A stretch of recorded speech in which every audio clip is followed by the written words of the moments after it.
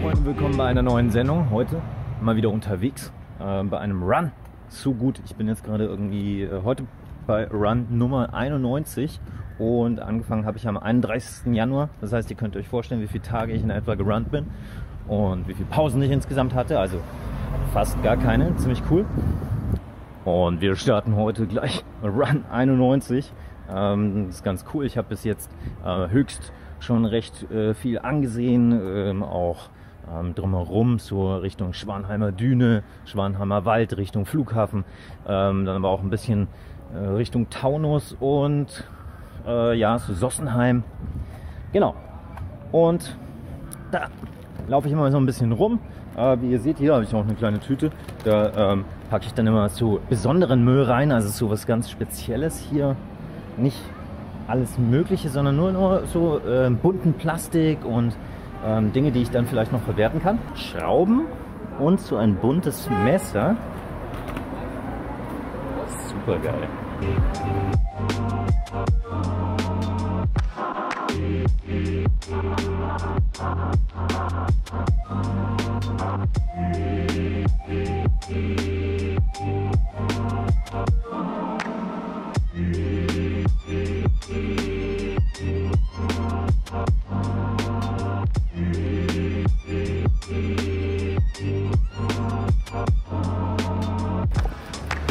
So, meine Freunde, und auf jeden Fall habe ich jetzt so knapp die 410 Kilometer bisher geschafft. Voll krass. Ich glaube, ich bin auch noch nie so viel gerannt vorher. Da bin ich richtig stolz drauf. Und vor allem ist das Coole daran, dass ich jetzt äh, eigentlich so immer so ein bisschen Bock habe, selbst loszugehen. Muss mich jetzt nicht mehr so sehr äh, stressen. Muss mich jetzt nicht mehr so sehr zwingen. Das ist wirklich manchmal so ein, so ein Drang. Komm, lass mal losgehen spürst irgendwie deine Beine, du spürst den Muskelkater noch in den Beinen, aber irgendwie hast du Bock. Während ich so unterwegs bin, sammle ich ja diesen Müll ein. Hin und wieder entdecke ich so ganz interessante Grünanlagen auch. Hier gibt es so manchmal auch so verschiedene Höfe ähm, von, von irgendwelchen Blöcken. Wer jetzt meine Pace sieht in der App, dem sollte auch klar sein, dass ich sozusagen äh, hin und wieder mal so eine kleine Pause mache, Sachen äh, entdecke, mir ansehe. Und da habe ich dann nicht die Zeit, die ganze Zeit die App wieder auszuschalten und so. Und dann habe ich noch zwei neue Projekte angefangen, dass mir die teaser ich mal ganz kurz an. Und zwar, ich bin nicht so der, so der Rennfreund, dass ich unbedingt irgendwie losstarten muss, möchte. Rennen ist an sich sowieso so eine ziemlich langweilige Sache, finde ich. Und deshalb habe ich mir zwei neue Ideen überlegt, zwei neue Projekte, wo ich aktiv Videos zu produzieren kann, indem ich mir äh, dann aktiv Ziele raussuche. Ja, und mich dann auch besser anspornen kann, da dann loszugehen, weil ich dann wieder was einsammeln möchte. Auf jeden Fall ein Format, was so nicht auf diesen Kanal passen würde, weshalb ich mir gedacht habe, mache meinen eigenen Kanal. Gibt es noch eine andere Kleinigkeit, die ich die ganze Zeit mache? Und zwar sammle ich Dinge auf Google Maps.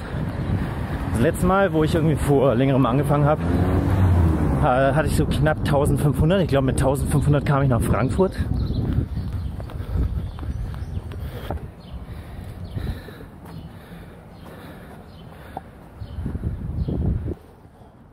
So, meine Freunde, wieder ein kleines neues Teil gefunden. Vielleicht hat es der eine oder andere erkannt, was es ist. Und zwar sind es so kleine Metallstäbe, die von den Reinigungswegen abfallen. Ne? Diese ganzen Kehrwegen haben eigentlich Metallborsten äh, und die fallen halt dann hin und wieder aus diesem Ding. Wahnsinnig krass. Wenn ihr genau mal auf den Boden schauen würdet, in Nürnberg liegen so viele. Ich frage mich auch, wann das irgendwann gelöst wird. Aber man kann sich auch überlegen, würde man Plastikborsten nehmen, hätte man gar mehr Probleme. Ne? Über einen Kilometer. Uh. Heute laufen wir mal ein bisschen Richtung Sossenheim. Heute wollte ich mal ein bisschen zur Nidda. So ein bisschen zu so einem Kreuz, wo die Autobahn aufhört und so eine äh, Wasserschleuse ist, glaube ich. Dann von dort aus Richtung Höchst reinlaufen. Und auf jeden Fall, um nochmal auf das Thema von vorhin zurückzukommen, sammle ich Dinge auf äh, Google Maps. Hatte anfänglich, als ich nach äh, Frankfurt kam, 1500 Bilder hochgeladen. Und das sind mittlerweile 1000, 1650 oder 1700 fast schon. Oh.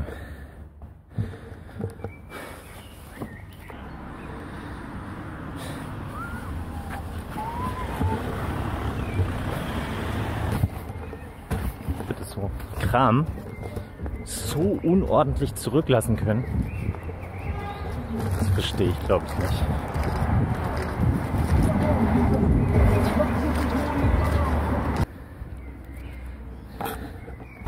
Hier gerade am höchster Friedhof. Ein sehr, sehr schöner Friedhof.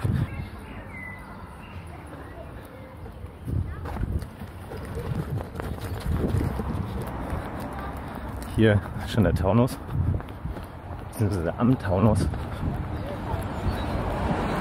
Oh, meine Freunde schon wieder.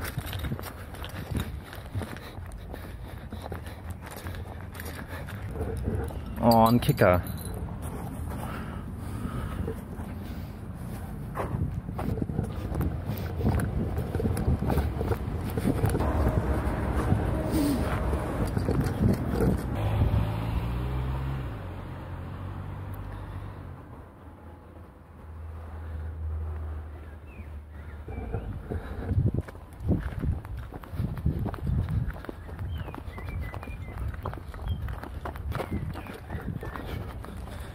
Sind wir gerade in Sossenheim angekommen.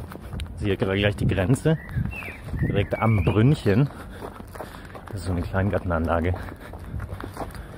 Das Brünnchen ist eigentlich, glaube ich, eine Gaststätte und drumherum ist die Kleingartenanlage. Hier alles ziemlich schön grün. Vier Kilometer gejoggt. Nur noch zwei, drei.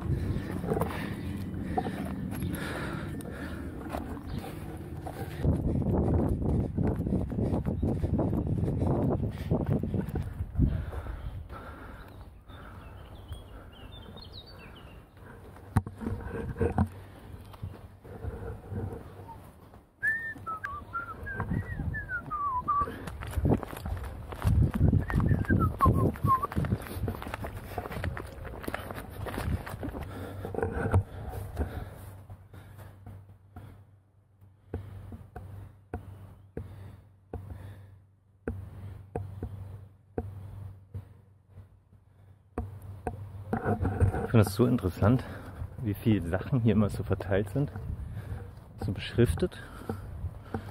Da gibt es immer irgendwas zu lernen hier in Frankfurt. Das ist total gut. Vielleicht ist mir das in Nürnberg gar nicht so aufgefallen oder ist auch gar nicht. Ich glaube, das gibt es auch gar nicht so viel zu entdecken. So, meine Freunde, nicht mehr lang, dann haben wir es geschafft.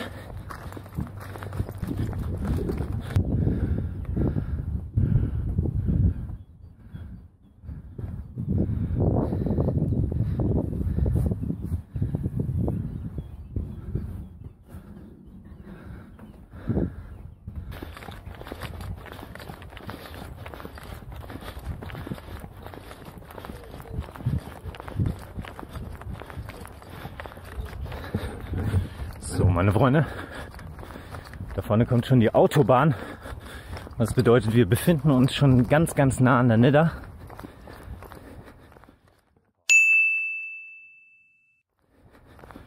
Boah, was für ein geiles Wetter, ey.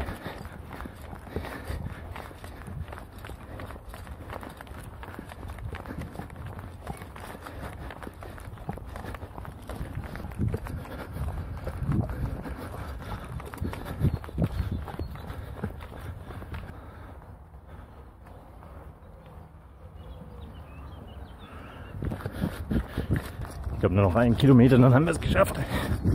Heute knacken wir nämlich die sieben Kilometer, meine Freunde. Januar mit 2,64 angefangen. Jetzt schon die sieben.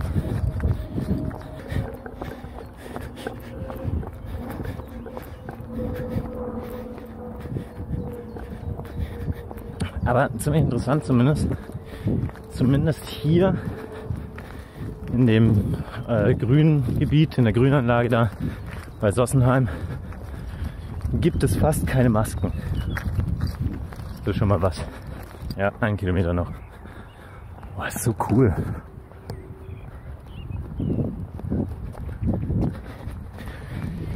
Ja. Und ihr seht, das Ganze hat natürlich so ein kleines Stückchen länger gebraucht, braucht auch grundsätzlich halt, sagen wir mal so 10, 15 Minuten länger, als es normal bräuchte. Ja, aber dafür nimmt man halt immer ein bisschen Stück Müll mit und, und schafft alles so ein bisschen Ticken sauberer zu machen. Und ihr müsst euch mal überlegen, was passieren würde, wenn alle Runner das anpacken würden, aber das ist ja auch nicht deren Aufgabe.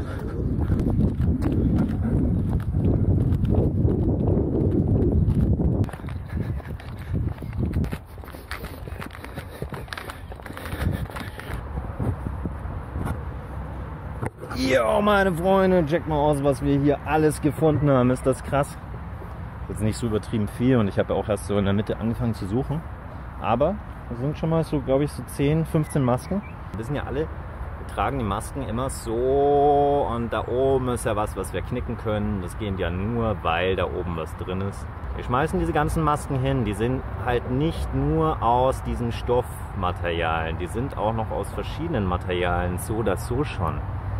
Aber da überall steckt so ein fast doppelt so großes Stück wie als bei Brotverpackungen. Die liegen da alle mit. Wenn jetzt die Masken alle weggeschmissen werden, dann hängt ja das Ding mit drin. Ihr habt gerade gesehen, wie ich es rausgemacht habe. Könnt ihr euch vorstellen, dass sich irgendjemand die Mühe geben sollte, dieses Ding wieder rauszumachen? Ich glaube nicht. Und deswegen sollte man sich halt vielleicht überlegen, dass man da irgendwie ähm, ja, dass wir auch vielleicht einen Weg finden, diese Sachen zu recyceln und dass wir uns klar sind, dass jeder, der das irgendwie macht, trägt einen Beitrag zu dem Ganzen bei. Und ja, so, das war es heute von der Folge. Ich hätte gesagt, vielleicht äh, lasst ihr mir mal zurück, was ihr so treibt während der Pandemie. Habt ihr auch mal ein paar Cleanups gestartet und ich hätte gesagt, wir machen uns jetzt mal gleich auf den Weg. Davon ist die Nidda. Geht's los und wir laufen bis nach Höchst zurück. Das sind, glaube ich, so 4, 5 Kilometer.